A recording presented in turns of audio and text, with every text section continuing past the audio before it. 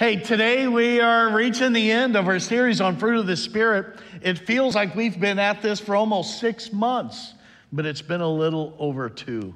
But it, it takes a while to really go through the fruit of the Spirit. And today is the challenging one, the one that everybody seems to be lacking sometimes. Stand with me as we read Galatians chapter 5, verses 22 through 26. I'll be reading now the NIV Bible.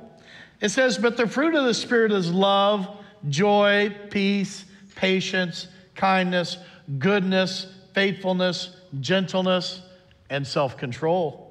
Against such things there is no law. Those who belong to Christ Jesus have crucified the flesh with its passions and desires.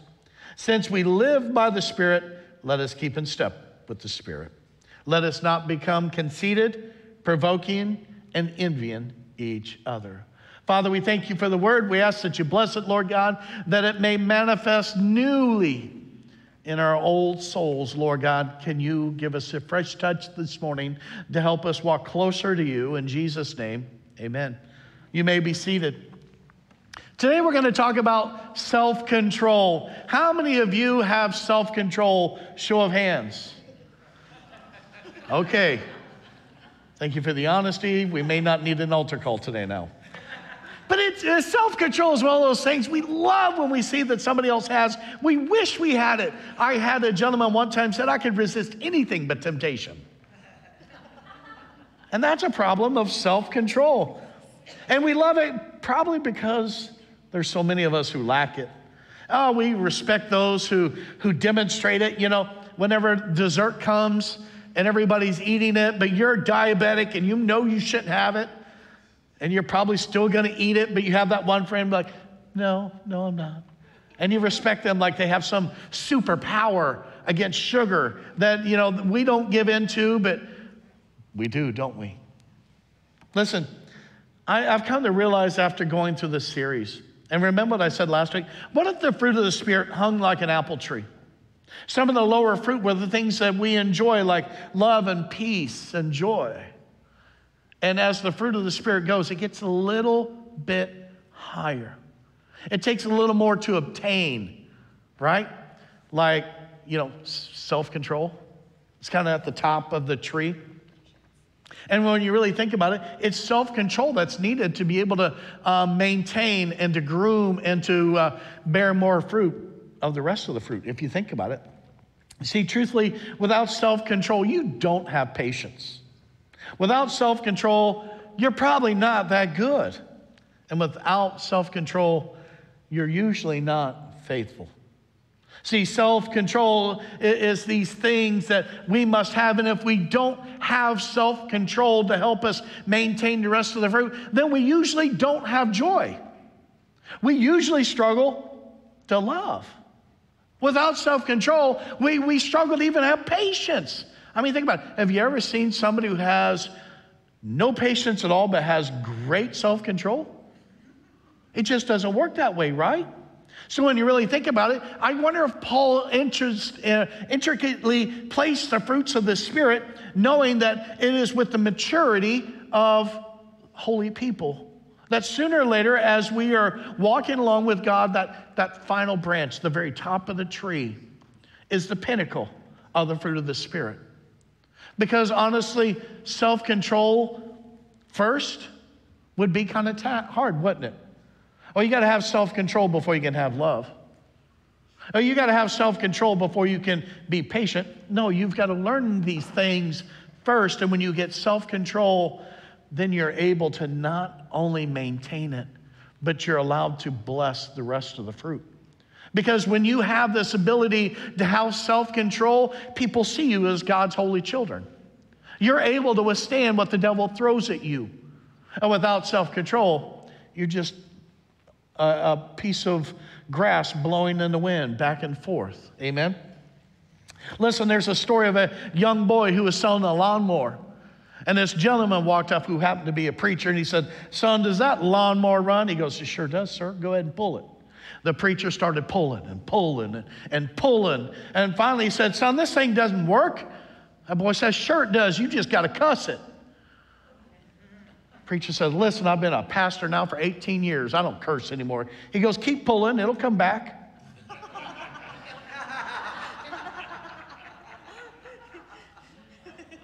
Without self control, sometimes our old habits come back, don't they? When you really think about it. You know, I, we always talk about just underneath the skin, there's this, that old self. And if we don't have self control, we get ourselves into all kinds of trouble. Without self control, we find ourselves doing what the old self used to do. See, self control helps us maintain our witness, helps our love be first, not our anger. Self control allows our joy, not our frustration, not our depression or anything else that manifests on the outside. See, it's self control that allows you and I to be children of God that, that bears much fruit, right? And that's what Jesus says. It's His will that you bear much fruit. But, you know, Jesus says a bad tree can't bear good fruit, and a good tree can't bear bad fruit. And so, when you really think about all this fruit that Jesus is talking about and Paul's talking about, we're really talking about self control. Because if you really are a good tree and you're doing good things, you will bear good fruit. But if you have no self control, you'll bear bad fruit. I mean, think about it. How many times in lives have we met people who live like victims, right? We've all been victims, every one of us, but we choose not to live like a victim or stay in a moment to victimize us. I mean, that's why we need a redeemer. That's why Jesus called a restore to move us past those points. And it takes self control to realize hey, that season of life, that moment of pain is over, and I can be here, but you got to have self control to pull yourself out of that. How many times have we heard someone say, We don't understand what I've been through? Right? Maybe you've used that yourself. Well, I don't know about you. I don't know how many of us have been nailed to a cross. Well, you didn't have my upbringing. Well, you didn't have my upbringing. You didn't know what was going on behind the scenes. You're right, I don't, but He does. So many times will you pour excuses to live poorly as an excuse to have no self control, to continue to act out in carnal ways that go against what the Word of God says. God's not asking for perfection. No, He's the perfecter and author of our faith. What He's asking for is obedience. Amen. I, one of my favorite disciples, not one of the favorite disciple of mine, you've heard me say many times, is Peter, Simon Peter. Simon Peter was a jerk, right? He loved Jesus, but I don't think he was that sanctified for the most part. I, sometimes I resemble that guy, right? I'm not perfect, but I love Jesus. I'll make mistakes. And you can just see Peter was the guy who probably was starting fights all the time in the group, right? I mean, they got uh, Simon Peter, he's a zealot. He hates politicians, he hates religious people, he hates tax collectors, he kind of hates everybody but himself. And this is who Jesus chose. He must be God, because only God can control a man like that. And who was one of the next disciples? Matthew, a tax collector. You know how many times Jesus probably had to sleep between Peter and Matthew to keep Peter from killing Matthew? I don't think Peter had much self control, do you? Matter of fact, we find that out on the night Jesus was arrested. Peter had a knife and he pulled it out and cut a guy's ear off. He's skilled with that knife, but think about it. Peter had the knife the whole time he was with Jesus. He had no self control. He's got to keep that knife. You ever see anybody got billy clubs in their car for just in case? I'm 51, I've never had just in case. Right? Well, I carry a knife just in case. In case of what? Right? My dad, he carried a pocket knife to clean the, the dirt out of his fingernails. Up here, he's carrying a knife for just in case. And just in case happened. He pulled it out and he cut the ear off of this guy. He's got no self control. And Jesus tells him, live by the sword, die by the sword. What are you carrying for just in case? that you got no self control, and it really comes down to no trust in God. But it's interesting. After Pentecost, Peter, the Holy Spirit cut comes and touches his tongue and his lips, and he's baptized by the Holy Spirit. And this changes who Peter is. Because remember, it's the fruit of the Spirit. Peter is now touched by the Spirit of God. And all of a sudden, this rugged religious jerk who loves violence and carrying a knife humbles himself. And later on, we find Peter, he's, he's kind of in the church. Nero's out to kill him. He's, he's killing Christians at a rapid pace. You figure Peter would write something really mean, right? On how to stand up for yourself and, and how to take your knives out and cut an ear off and all these other things.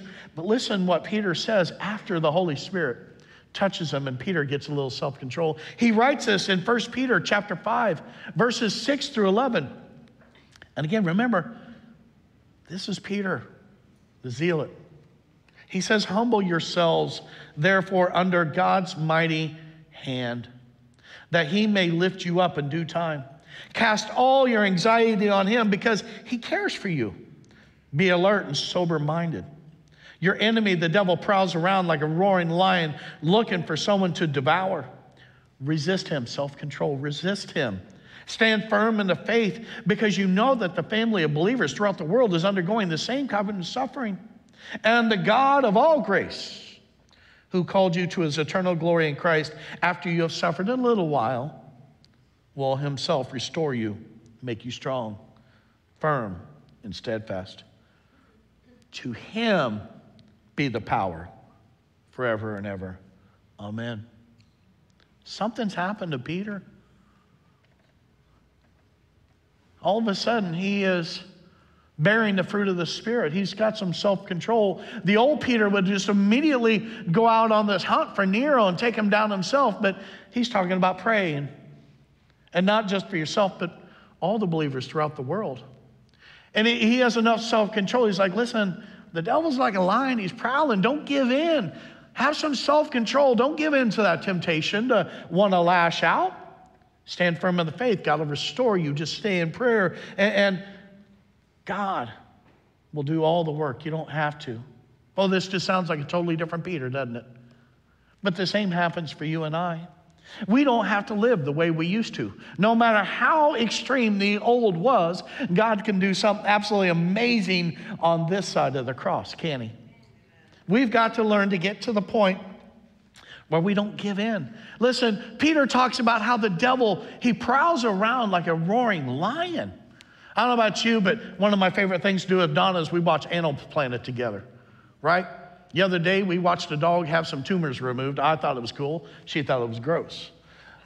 But we've also watched lions and tigers. You ever watch how these big cats stalk their prey? It's very interesting. They will look for a weak animal or an injured animal or someone not paying attention, and they'll prey upon that. Peter's warning the same thing. The devil is prowling around you. He's looking for something weak in you, and he's going to capitalize on it. He's going to attack you where you're weak. And if you have no self control, you've got no defense around the walls of your life, your spirit. Amen?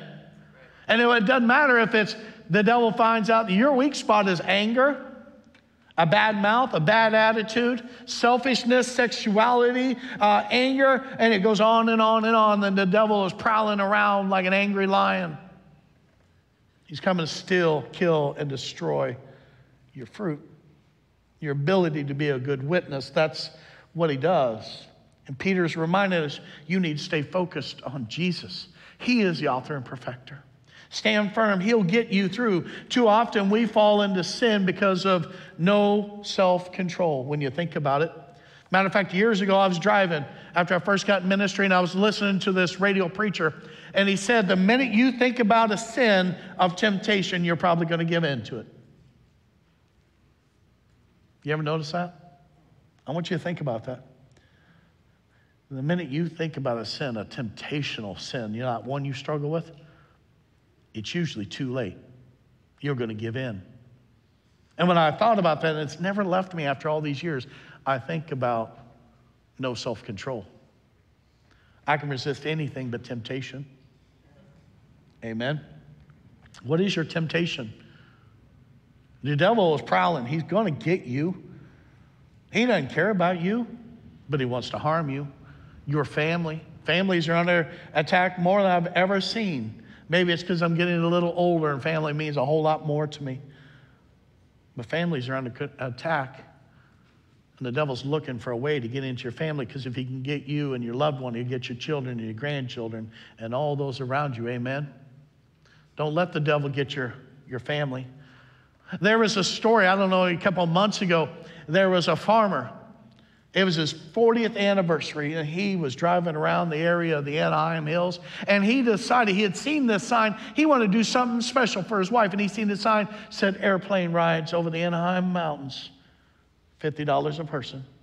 Oh, the farmer, he pulled in, he inquired about it. And being a farmer, I grew up on a farm, I understand this. He started negotiating, and he says, I'll pay you $50 for both of us, but not for one each. Finally, the pilot gave in, said, okay, here's what I'll do. It's, it's $50 for you both. But if I hear one word, it's going up to $100 a person. Farmer's like, okay. That pilot took off and he started flying. He did aerobatics that were out of this world and, and crazy and up and down the mountains and upside down and backwards and loops. Farmer didn't say a peep. Finally, a pilot landed. He goes, Man, you have got great self control. A couple of those things that I was doing even had me scared. I can't believe you stayed that quiet. The old farmer goes, Well, I almost said something when she fell out the door, but I realized I need to keep my mouth shut. That's self control right there. You're worth more than $100 to me. I'll say something, I promise. But when we think about it, self control, the Greek word is enkrateia. Talks about strength. How many of y'all have strength? That when the devil comes, you can fight him. That your spirit is fortified. Solomon writes this in Proverbs 25, 28. He says, like a city whose walls are broken through is a person who lacks self control. Peter's talking about this. We need self control. The devil's going to look for areas in the walls around your spirit, and he's going to come in, he's going to get it. You know, when we really look at the Hebrew cities and Roman Empire and all those, during that time, they built walls around to protect. And they would have to go around and look for holes. Nehemiah was always doing this because the enemy came in through those holes in your wall. I want to let you know the enemy's coming. He'll never quit on you. I want you to know that. I always say, joking, I'm going to come into heaven with skinned up knees and elbows, and there's going to be he- flames on my heels. Not just me, but you too. The devil will not ever give up on you. You'll have flames on your heels too. And he's looking for holes in the wall that surround your spirit. I want you to close your eyes for just a minute. Take a walk around the walls of your spirit. Do you see any holes there? Maybe the hole is pride. Maybe the hole is arrogance. Maybe it's money. Maybe it's sexuality. Maybe it is insecurity. What are some of the holes in the wall of your life that the devil has been coming after in you? Fortify those holes. Learn to resist anything that's not of God. You and I don't need to give in to those things, but you have to fortify the walls in your life because the evil one, he's prowling around you. He's looking for a way into your life, into your family, into your insecurities, your fears. Maybe he's going to puff you up, make you proud and arrogant instead of learning to be humble and meek, as we talked about last week. Where are the weak areas of your life the devil is looking to try to get in? Will you just keep messing up? I'll tell you this morning the best way to fix those holes is with the prayer, the power of prayer in your life. That's what Peter says. You're not the only one going through. Peter says believers all around the world are suffering the same trials. That's because the devil is the same. He has no new tricks. We are broken. We need to learn some self control. You're never going to love the unlovable if you don't have self control. You're never going to forgive the unforgivable without self control. You'll never put others first without self control. You and I need self control to maintain the rest of the fruit of the Spirit. It's self control that'll get you there. Paul even says, not envying or provoking each other. Our faith is not about arrogance. Uh, we've been Nazarenes this long and Christians this long, and I go to that church. We need to have some self control and say, I am just a believer in Jesus Christ. I'm not any better than anyone. So many times we love to brag about what churches we go to and what Bible studies we've been part of or who we've studied under and what we've done. And that's puffing up. We need to stop that. We need to start showing people how much we love, not how much we know. Because if you can't show love, you're only the resounding gong of a cymbal that does not sound like love. And when we begin to fix the holes in the walls of our spirit, we can learn to help others. And then we produce fruit that lasts fruit that produces other fruit in other people. And the world will begin to change. But change starts with us. Jesus has done all the work. God has provided all the options for you and I. Now we need a little self control, not to give in when the devil comes, but stay in prayer, to stay in faith. Don't let them steal your joy. Don't let them steal your love. Don't let them steal your peace or your patience or your kindness or your goodness, and especially not your love. He's coming for those things, and He's looking for the holes in your walls surrounding your spirit this morning. Hey, everybody, thank you so much for joining us at Long Beach Nazarene. If you enjoyed the message today, please share it with a friend. We know that the gospel has to get out there to everybody. Our call is to spread the good news of Jesus Christ. If you want to partner with us, check us out at lbfnaz.org, and there's a Give Online button there as well. Don't forget to click subscribe. We'll see you later. God bless.